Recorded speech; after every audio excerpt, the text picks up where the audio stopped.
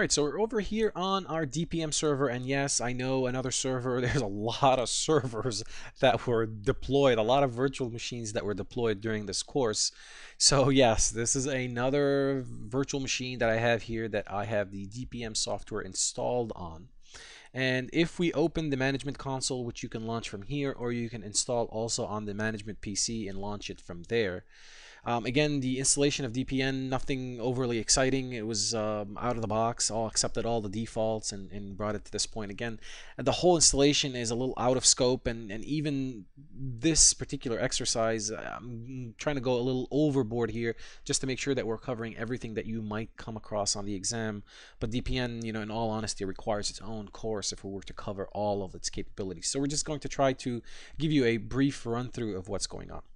So I've already installed an agent on one of my virtual machines here, VMM01. What we want to do is we want to go through that same exercise with you. So in order to do that, what we're going to do is under agents here, we're going to go ahead and click on install. This is going to start the install wizard. Now you can ha you have two options. You can either install agents right away or you can attach agents and this is good if the computers are behind a firewall, if you're trying to if the if the uh, the agent is already installed and you're just trying to reattach it. So you have several options here alternatively to just install the agent the traditional way.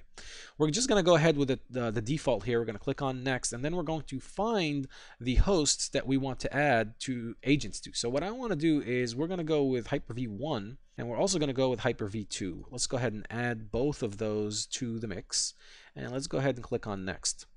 We're going to give this a, a username and password for authentication here and make sure this username and password obviously has rights to install the software onto these hosts and uh, pay close attention to whether or not that Windows Firewall is enabled. If it is enabled, then you want to make sure that you have all the right ports open. Otherwise, the agent deployment remotely will probably fail. So we're going to go ahead and click on Next here. Now this is really cool and I did this on purpose. So whenever you're adding hosts that are part of a cluster, well, DPM is going to automatically detect that and say, hey, I want to back up all of the hosts that make up this cluster. As a result, it found that we haven't, you know, selected Hyper-V 3 to, to have an agent added to it, and it wants to have an, you know, to, to be able to back up the entire cluster as opposed to just, you know, one or two um, hosts out of that cluster. So it prompts us for that here. So I'm going to go ahead and select it, and then we're going to go ahead and click on Next. If you're using operating systems like Windows 2003 or in Windows XP, you might need to reboot the computer automatically. Now, here's the cool thing. I'm going to select yes here, even though we're going to get an error. And the reason, well, a warning.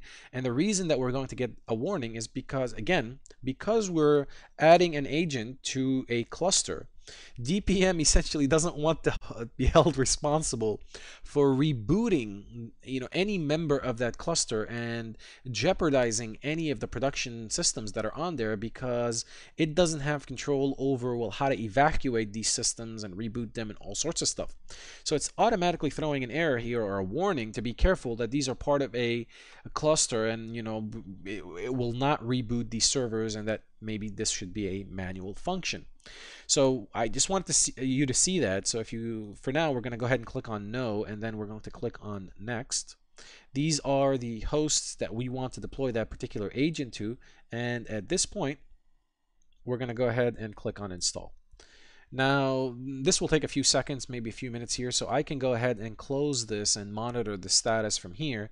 And while this is, you know, installing, what we can do is we can add some disks.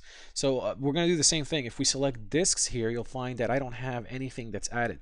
So if I come up here to add, well, I also don't have anything added here. So what I've done is I've added a 250 gig disk to this virtual machine. I've attached it. Now, what you want to do from within Windows in order to allow DPM to see this is you want to be able to bring that particular disk online and you want to be able to initialize it. But you don't want to create a volume out of it. You don't want to put any nothing. Just initialize the disk. To do that, we're going to go over here to the local server the server manager. Once that's up, you'll find that you have file and storage services down here. If you select those and then if you select disks, you'll find that I have a again a 250 gig disk here that's offline. So what I'm going to do is right click on it and we're going to bring it online. Yes.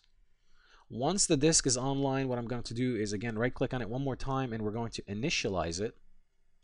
Gonna go ahead and click on yes here. Once that's initialized, that's all that we need to do in order for DPM to be able to detect it. So if I go back into my DPM console here and we try to click on add one more time, you'll find that it automatically detected that disk. Now once we select add here, it's also DPM needs to make those disks dynamic. So because I've initialized it, I haven't really specified or it's basic by default. What, what's going to happen now is that's going to prompt me to say, hey, you know, you've selected a basic disk. I'm about to create a dynamic disk out of it. Okay, I'm all good with that and voila. That is the process of adding a disk essentially uh, to DPM. Now let's go back and check on those agents and see if uh, our installation was successful. So we're going to go back to agents here and voila. So we know that we now have a successful installation of agents on essentially those four hosts, all the Hyper-Vs and our VMM server as well.